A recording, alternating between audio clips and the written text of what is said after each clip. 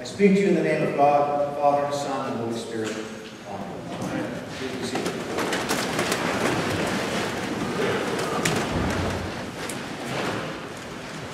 So, Thanksgiving, stewardship, gratitude. Where do we go from here? We all know that we should be thankful. We have so much.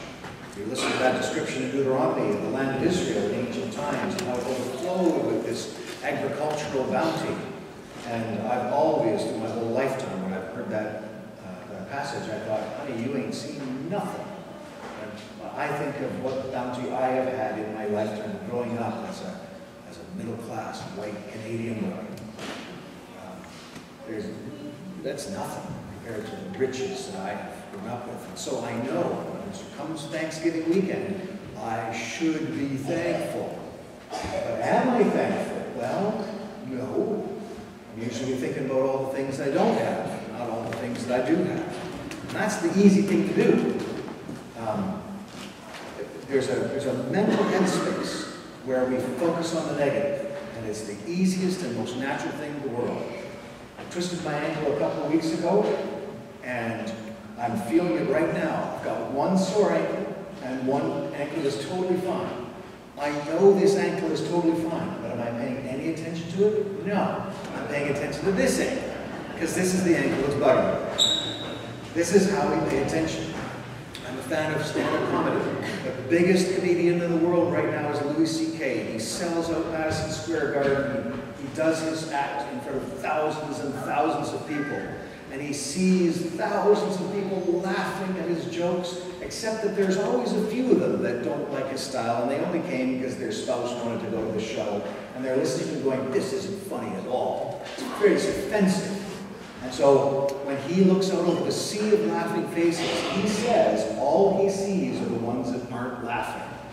And he says, I'm failing to make that one laugh, and that one laugh, and that one laugh. They may be 1% or a half a percent of the audience, but that's where his attention goes. Now the thing about attention is that it defines our world. We are all selective in how we pay attention to our life.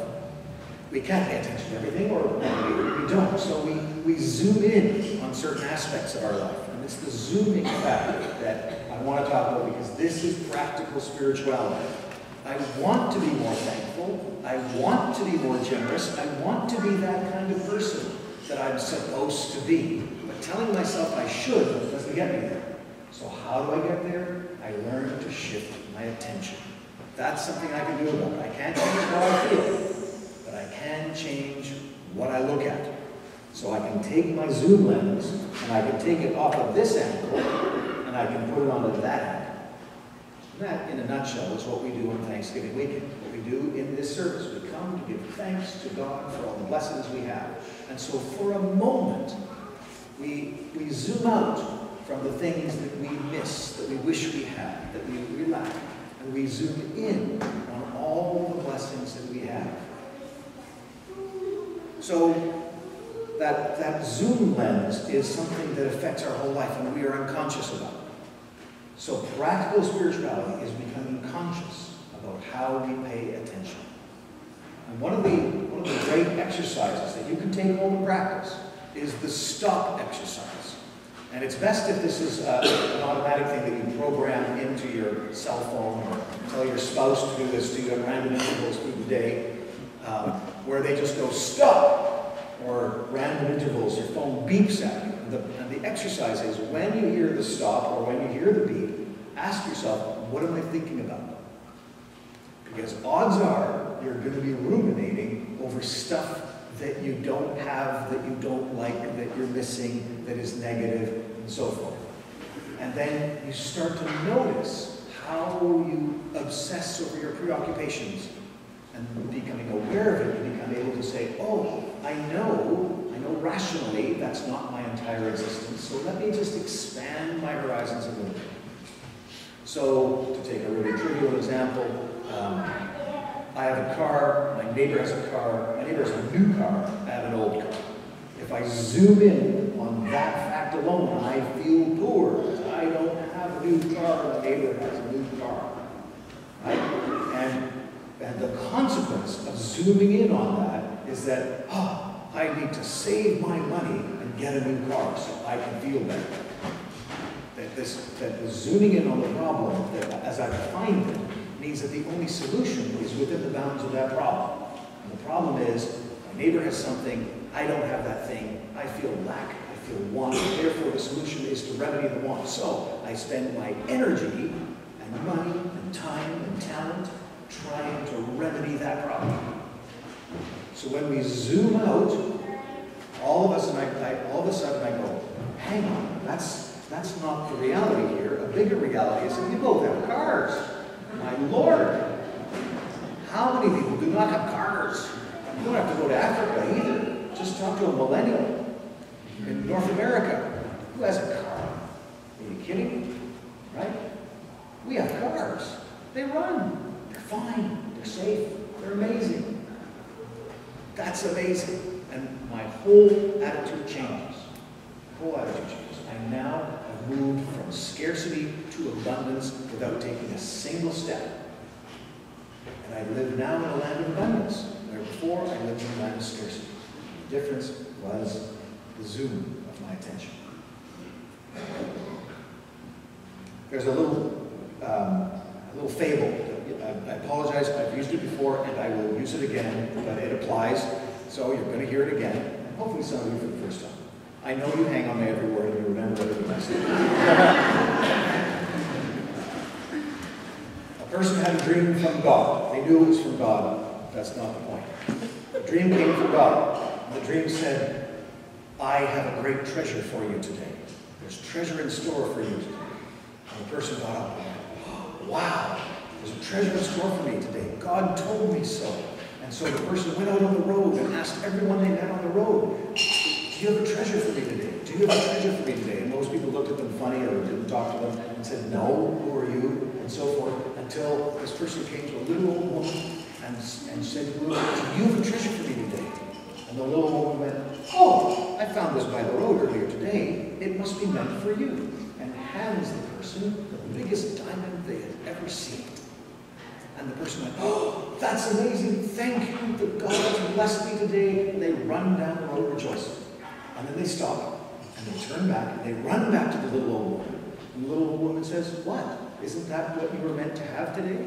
And the person said, no. I want what you have that allows you to give me this. Now, a close reading of the Corinthians passage this morning um, is about Paul talking about generosity. He's talking about how you are blessed when you give. And the little aside is he's fundraising for people in Jerusalem, FYI. But it's a, it's a passage that's important because it can be easily misused to, to, uh, to promote a prosperity gospel, which I think is, is the worst heresy. Prosperity gospel is the more you give away, the more God will bless you financially.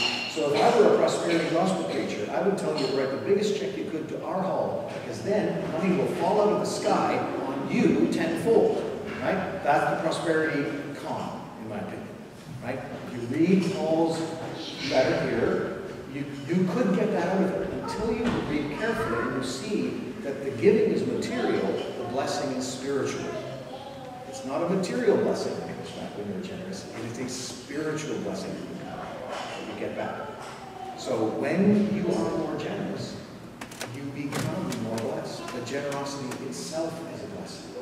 And the blessing comes in your own transformation into the person you were meant to be.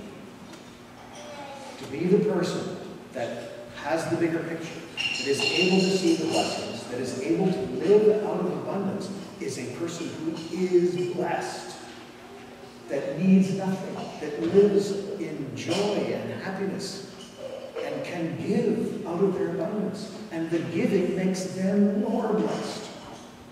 Andrew and I are entertaining tonight. Thanksgiving, turkey, good company, friends, little wine. It's going to be lovely. Imagine if they paid us when they came.